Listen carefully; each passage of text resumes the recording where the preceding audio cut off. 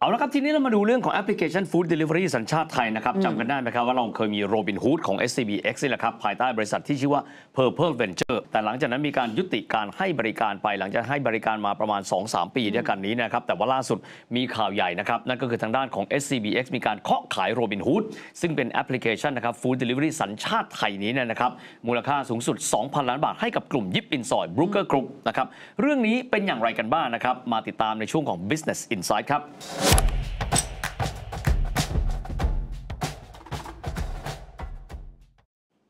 พูดคุยกับเราในวันนี้นะครับ ประธานเจ้าหน้าที่บริหารของบริษัทยิปอินซอยจำกัดคุณมรกตยิปอินซอยครับคุณมรกตสวัสดีครับ สวัสดีค่ะ สวัสดีค่ะ คุณวิคุณเฟิร์นค่ะค่ะ ก่อนอื่นนะคะ เชื่อว่าใครหลายคนอาจจะไม่คุ้นชื่อยิปอินซอยนะคะ กลุ่มยิปอินซอยคือใครคะ เพื่อให้เราทำความรู้จักก่อนที่เราจะคุยกันต่อนนิดนึงค่ะ ค่ะที่จริงยิปอินซอยก็จะเป็นบริษัทเก่าแก่นะคะ เราอยู่กันมาเป็นเกือบร้อยปีแล้วค่ะ ปีนี้เป็นปีที่ 98 ของเรา ก็เริ่มต้นตั้งแต่แบบปลายสมัยรัชกาลที่ 6 นะคะเทรดดิ้งแล้วก็ค้าแร่ค่ะ เรามีเอิ่มการทำเหมืองแร่แล้วก็ค้าแร่ที่ชุมทางทุ่งสงหัดใหญ่ปีนังเพื่อส่งออกไปยังต่างประเทศต่างๆ หลังจากนั้นเราก็ทำเรื่องเทรดดิ้งมาเรื่อยต่างต่อตลอดนะคะนำเข้าส่งออกมาเรื่อยๆ จนล่าสุดเนี่ย สิ่งที่เราทำเป็นหลักอยู่ตอนปัจจุบันนี้ก็คือระบบ total IT solution นะคะ เราทำงานให้กับภาครัฐธนาคารแล้วก็ภาคเอกชน แล้วก็มีมีงานด้านการเกษตร เทคโนโลยีการเกษตรนี่ก็ดั้งเดิมมาของเราเลยนะคะ แล้วก็ปัจจุบันก็เพิ่มขยายไปในเรื่องพลังงานสะอาด เรื่องนาโนเทคโนโลยีแล้วก็เรื่องเกี่ยวกับแบบ ดิจิทัล AI ต่างๆ อะไรอย่างเงี้ยค่ะ คุณมรกตครับ ทีนี้เนี่ยมีธุรกิจที่ diverse มากมาย รวมถึง total IT solution และหลากหลายด้วยนะครับทางด้านของกลุ่มยิบอินซอยเห็นอะไรในโรบินฮูดถึงได้เดินหน้าเข้ามาลงทุนแล้วก็ซื้อโรบินฮูดในครั้งนี้ครับค่ะ คุณวิทย์คุณเฟิร์นอาจจะได้ใช้โรบินฮูดแล้วอืมเพราะเป็นแอปน่ารักเล็ก ๆ แล้วเรารู้ด้วยว่าทางเอ่อแรกแรกเริ่มเนี่ย SCB ก็ทำด้วยความตั้งใจดีอย่างมากเลยนะคะ ที่จะทำโรบินฮูดขึ้นมา ช่วยกับร้านค้าและผู้คนตอนช่วงเศรษฐกิจวิกฤตโควิด -19 ที่ผ่านมาของเรา เราเห็นแอปนี้เติบโตมาโดยตลอด แล้วก็เป็นที่น่าชื่นชมเพราะเขามีความน่ารัก แล้วก็เหมือนเกื้อกูล แล้วก็ใส่ใจกับ ecosystem ค่ะทั้งพี่พี่ไรเดอร์ทั้งกับร้านค้าร้านอาหาร แล้วก็แล้วก็เอิ่มผู้สั่งอาหารด้วยช่วงแรก ๆ เราอาจจะถูก spoil นิดหน่อยว่าทุกอย่างฟรีหมดอืมอืมเรารู้ว่าที่ นั่นน่ะเป็นเรื่องที่ SCB เขาต้องจ่ายอย่างเดียวเลย เพราะว่าเขาสปอร์ตเรื่องนี้ พอวิกฤตจบเนี่ยพอเขาเลิกประกาศปิด เราก็รู้สึกแบบตกใจว่าเอ้ยเกิดอะไรขึ้น เพราะเป็นแอปที่แสนดีของคนไทย เราก็เลยเอิ่มพอเขาประกาศว่าเขาสนใจที่จะหาผู้คนที่เข้ามาทำต่อ เพราะว่าอันนี้ก็คงไม่ใช่ภารกิจโดยตรงของธนาคารแล้วอะค่ะค่ะ เราก็เลยรวมตัวกับผู้ถือหุ้นแล้วก็พันธมิตร แล้วก็ตัดสินใจเข้าไปที่จะเสนอตัวขอรับช่วงต่อ ดำเนินการกิจการอันนี้ต่อค่ะเมื่อสักครู่นะคะคุณมรกตบอกว่ารวมตัวกับพันธมิตรอ่าแปลว่าเราไม่ได้ลงทุนเพียงลำพัง อยากให้แชร์นิดนึงค่ะว่าพันธมิตรที่เราจับมือกันเพื่อเข้าไปลงทุนเป็นเจ้าของโรบินฮูดเนี่ยมีใครบ้างคะค่ะ ก็เอ่อนอกจากยิบอินซอยแล้วก็มี Brooker Group นะคะก็เป็นบริษัททางการเงินใหญ่ แล้วก็เป็นผู้ที่ถือสินทรัพย์ดิจิทัลที่ใหญ่ที่สุดในประเทศไทย แล้วก็มีกลุ่มของ SCT Rental Car อันนี้ก็เป็นผู้ให้บริการรถยนต์รถเช่า แล้วก็เรื่องรถต่างๆเนี่ยครบวงจรในประเทศไทยรายใหญ่เหมือนกันเอ่ออีกบริษัทหนึ่งก็คือ Loxbit นะคะเป็นบริษัทในเครือของ Lox Loxley Group อันนี้ทุกคนก็น่าจะรู้จักกันดีรวมตัวกัน4 partner อืมนะคะ จะทำเรื่องนี้มาด้วยกัน แล้วก็ทุ่มเทกันอย่างมาก เพราะว่าดีลนี้เป็นเวลาเกิดมันสั้นมากอะแค่แค่สองเดือน ที่เราต้องสรุปและรีบตัดสินใจ แล้วก็ทำการประสานงานจัดการขอรับช่วงต่อกิจการมาดูแลอย่างดี แล้วก็เราดีใจมากที่ SCB X เขาให้เราอะค่ะครับทีนี้ครับเรื่องของอุตสาหกรรมฟู้ดเดลิเวอรี่ครับคุณมรกตเรื่องต้องบอกว่าเรื่องของภูมิทัศน์การงานดุเดือดมาก ทิศทางของโรบินฮูดภายใต้ยิปอินซอยและพันธมิตร เราจะเดินหน้าในทิศทางอย่างไรบ้างครับ ค่ะ ก็จริงๆเราเป็นอันดับล่างเลยนะ อันดับ 5 เลยนะคะ เป็นแอปตัวเล็กๆ แล้วไม่ได้ทำครอบคลุมทั่วประเทศไทยแบบผู้อื่นเขานะคะ เราทำแค่กรุงเทพและปริมปริมณฑลนะคะ ก็คิดว่าต่างคนต่างแบบเราแข่งขันที่ที่ตัวเองนะคะ ต่างคนต่างมี sector ของตัวเอง แล้วก็ niche market ของตัวเองนะคะ ก็คิดว่าไม่ได้ไปแข่งกับค่ายใหญ่อะไรมากมาย แต่ว่าการพัฒนาของเราเราก็มี target market ของเราชัดเจนค่ะ คนที่อยู่ติดกับเราตอนที่แม้แม้แต่ทาง SCBX เขาประกาศจะปิดเนี่ย ก็ยังมีผู้ใช้งานอย่างต่อเนื่องแม้จะเปิดแบบประกาศเปิดว่ายังไม่ปิดนะในที่วันสุดท้ายอืมยอดใช้ก็ยังอยู่จนปัจจุบันนี้นะคะ เพราะฉะนั้นเราคิดว่าเราพัฒนาขึ้นไปได้และการอืมการเป็นแอปที่เห็นค่าของอีโค y ิสเ m มของพี่ไรเดอร์ของร้านค้าเนี่ยแล้วก็ผู้สั่งอาหารน่ะเราเราอยู่กันอย่างเกื้อกูลเป็น sharing economy ของเราเนี่ยเราคิดว่าเราจะพัฒนาโรบิน o ู d ให้ เติบโตแล้วก็มีเสน่ห์น่ารักต่อไปในใจของผู้คนที่ใช้เราได้ค่ะ ค่ะ เรายังใช้ชื่อเดิมไหมคะ แล้วก็ตั้งเป้าว่าเราจะ break even เมื่อไหร่ เพราะว่าปัญหาหนึ่งที่เข้าใจก็คือเรื่องของตัวเลข bottom line ที่อาจจะไม่ค่อยสวยนะก่อนที่เขาจะประกาศขาย เรามีแพลนยังไงบ้างนับจากนี้ไปคะค่ะ ก็พูดถึงการเติบโตตั้งเป้านะคะ ก็ ปีหน้าเราคิดว่าปีหน้าเนี่ยค่ะ ตั้งคือปีนี้ขอตั้งไข่ก่อนเนอะตั้งเรืออืมตั้งรำให้เรียบร้อยก่อน ปีหน้าคิดว่าเขาก็จะเติบโตและได้กำไรได้แล้ว แต่ว่าเราก็มาแบบว่าค่อยๆ โตนะคะ แบบไม่ผลีผามอะไรมาก แล้วก็ดูดูดูว่าทิศทางไหนไปได้ดี น้องๆที่ทำงานเนี่ยน้องเก่งนะคะ เราเห็นเขาทำงานมาที่หนึ่งเดือนที่ผ่านมาเขาก็ตั้งใจดีแล้วก็ทำทำได้ดีมาก เรื่องการขาดทุนน่ะอืมจะอธิบายทางทุกทุกท่านอีกทีว่าที่ผ่านมาที่เขาขาดทุนอย่างเยอะเนี่ยเพราะทุกออเดอร์ที่เราสั่งอะ SCB X support ทั้งนั้นเลยนะคะ คือทั้งแบบ subsidy พี่ rider เพราะเราจะรู้ว่า GP ก็เก็บน้อยมากเลยนะคะ เพราะว่าค่อยๆ เก็บเท่าที่แบบพี่ๆ ร้านค้าใจดีจะให้ GP มันเป็นแบบโดยสมัครใจใครจะคิดล่ะคะว่า delivery ของเจ้านี้เป็นแบบนี้อืมไม่ได้แบบใครจะให้ก็ได้ ใครอยากช่วยก็ได้ใครไม่อยากช่วยก็ได้ อันเนี้ยเขาก็ยังอยู่ได้ด้วยความใจดีของแบบพี่ๆ ร้านอาหารที่เราก็เรียกว่านี่จะเป็น Angel ของ Robinhood ที่ช่วยทำให้แอปตัวเล็กของไทยอันเนี้ยอยู่ได้ ต่อมาเนี่ยเราก็คิดว่าการเจริญเติบโตของเขาเนี่ยก็คงจะน่ารักต่อไปเหมือนเดิม เราคง concept ของทาง SCBX แน่นอนค่ะ ชื่อไม่เปลี่ยนนะคะครับ Robinhood แน่นอนค่ะโรบิน o ูดโอเคเอาคุณมรกตผมถามเพิ่มเติมอย่างนี้ครับ ทางด้านของธุรกิจของยิบอินซอยเองเนี่ยใหญ่ แล้วก็ระบบนิเวศเนี่ยใหญ่โตมาก เราจะมีการ synchronize ใช้จุดแข็งของยิบอินซอยในการเข้าไปเสริมกับทางด้านโรบิน o ูดอย่างไร แล้วโรบิน o ูดจะไปเสริมเนี่ยทางด้านยิบอินซอยอย่างไรบ้างครับ ตอนนี้ถ้าทางพี่ๆเทคก็น่าจะดีแบบดีใจนะคะ มีทุกวันก็แทบจะมีโทรศัพท์มาหามรกตอยู่เรื่อยเลยว่าเวลามาคุยด้วยก็บอกว่าเราจะต่อยอดอย่างงู้นอย่างนี้อืมแล้วคือจริง ๆ คนนอกจากพี่เทคเราอะก็จะมีคนที่แบบเขาทำเรื่องธุรกิจเพื่อสังคม ก็ติดต่อเข้ามาเยอะเหมือนกันบอกว่าอ๋อที่จริงคือเราเห็นตอนที่เราทำสต u d ดี้เพื่อเข้าไปเนี้ยเราก็เห็นภาพอยู่แล้วว่า จริง ๆ Robinhood หรือแอปเนี้ยเรามีแอปนี้อยู่ในมือเนี้ย โดยคนไทยที่เราสามารถพัฒนาและเปลี่ยนแปลงเองให้เหมาะสมกับการใช้งานเนี่ยเราสามารถที่จะต่อยอดต่อให้ประเทศไทยได้เยอะ แม้แต่ปัจจุบันที่เราทำแค่กรุงเทพอย่างเดียว ถ้าอีกหน่อยเราต่อยอดแล้วเรากลับซ้ายกลับขวาบ้างบางเรื่องเนี่ยเราสามารถช่วยนำผลิตภัณฑ์ต่างๆ ของทั่วประเทศของเราเลยที่เอาเข้ามาช่วยค้าขายในแพลตฟอร์ม แล้วก็ส่งมอบความสวยงามคุณค่าต่างๆ ของผลิตภัณฑ์นั้น ให้กับคนไทยหรือแม้แต่ที่เราสามารถจะส่งออกไปถึงต่างประเทศได้เลยนะคะอืมจริงๆ เป็นสิ่งที่เรามองเอาไว้สำหรับโรบินฮูดค่ะอืมค่ะ แล้วอย่างตัวกลยุทธ์ที่ทางยิวินซอยกับพันธมิตรมองไว้ เพราะว่าที่ผ่านมาอย่างที่เมื่อสักครู่คุณมรกตเล่าให้ฟังว่ามันมีการซับซิดีจากทางสถาบันการเงินด้วยเนี่ยนะคะ แต่ถ้าเราอยากจะพลิกกลับมากำไรในปีหน้าสิ่งที่ต้องทำหรือว่า แอปที่น่ารักที่คุณมรกตบอกเนี่ยนะคะ ในราคาที่ดีแล้วก็เป็นประโยชน์ทั้งกับผู้ซื้อ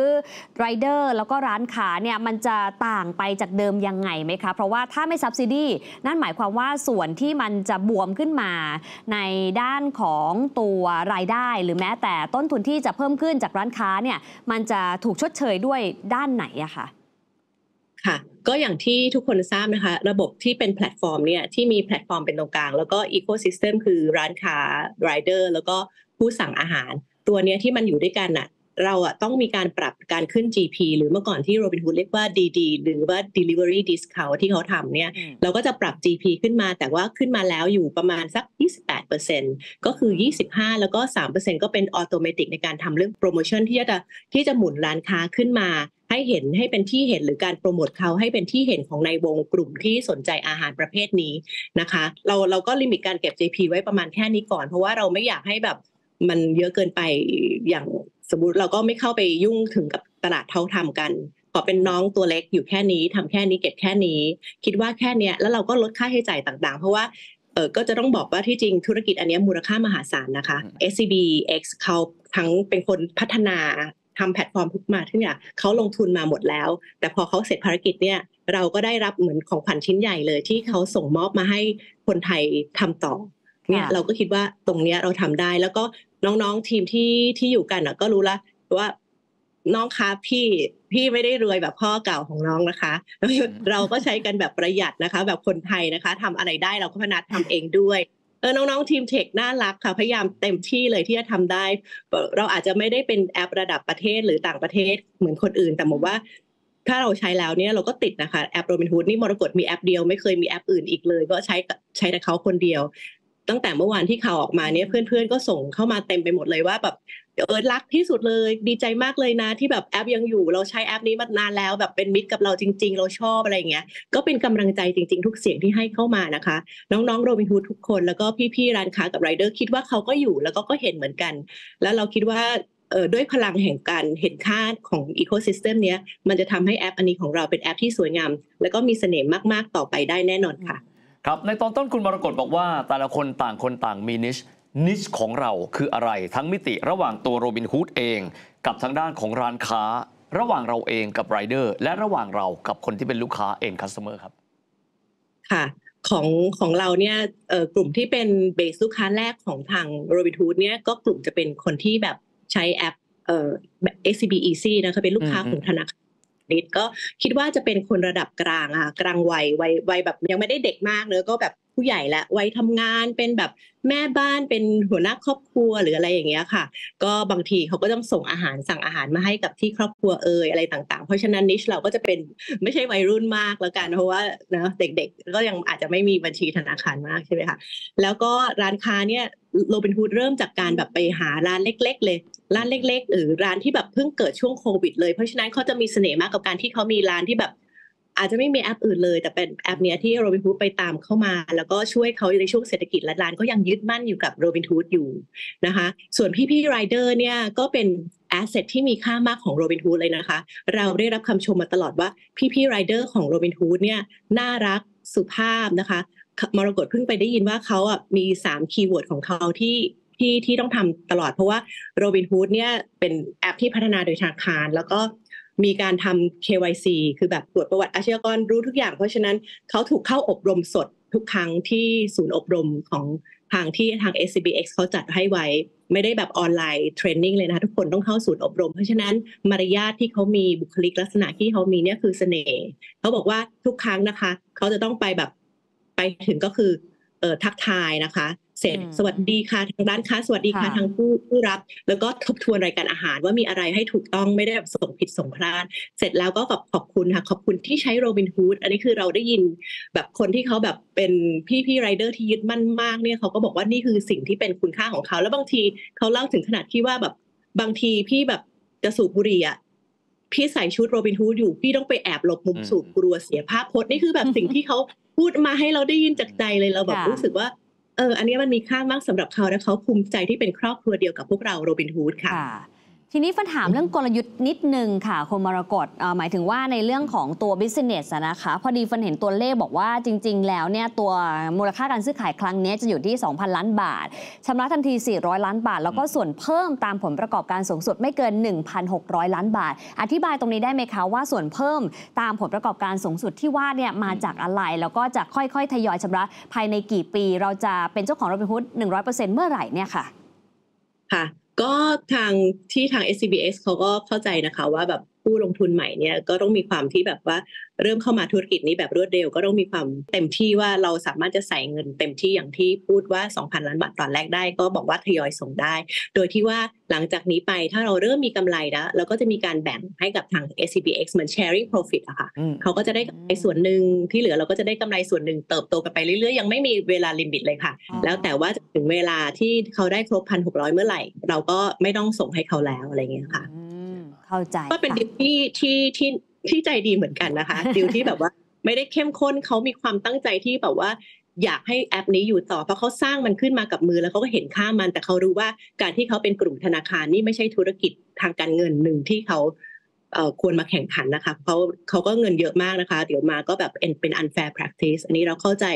บางคนไม่เข้าใจว่าทำธนาคารทำขาดทุนแล้วใครจะกล้า เราก็บอกว่าถ้าคุณเห็นข้อจำกัดของเขาว่าเขาทำอะไรไม่ได้ คุณจะเข้าใจว่าทำไมเขาถึงทำไม่ได้อืมอืมค่ะค่ะ แล้ว 400 ล้านบาทเงินเบื้องต้นก็คือมาจากเงินสดที่มีอยู่ในมือเลยหรือเปล่านะคะ หรือว่าเราต้อง raise fund เพิ่มยังไงนะคะ ใช่ค่ะก็คือเป็นเงินสดที่มาจากกลุ่ม ที่ผู้ลงทุนทั้งหมดเนี่ยนำเข้ามาเลยค่ะอืมไม่ต้อง raise fund อะไรเลยอืมได้ค่ะได้ช่วยกันค่ะหนาแน่นเป็นปึกแผ่นมากเลยค่ะค่ะขอบคุณเป็นกำลังมากครับใจให้ด้วยค่ะนะครับ